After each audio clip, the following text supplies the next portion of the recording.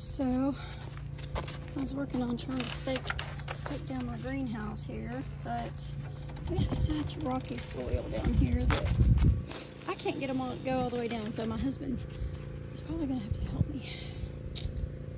Um, I'm fixing to start burning holes in this and plant my tomatoes. This year I'm gonna try doing it in ground.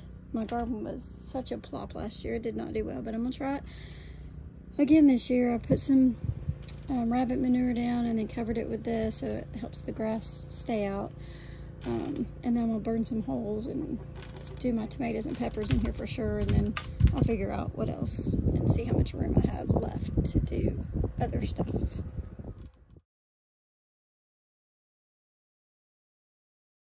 All right, I'm planting my beefsteak tomatoes and I burned my holes in the plastic, uh, the uh, woven ground fabric. And then I put like a handful of um, eggshell. So every time I cook eggs, I wash them, I lay them on a plate to dry, and I put them in my food processor and I crunch them up. And it's like this real crunched up, um, it's not powder, but it's definitely crushed up eggshells. So I'm using that under my plants.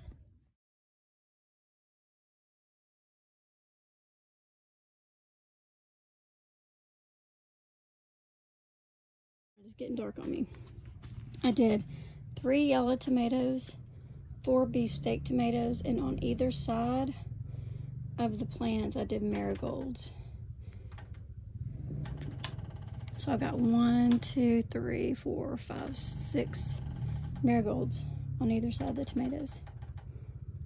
And I'll probably do another one here.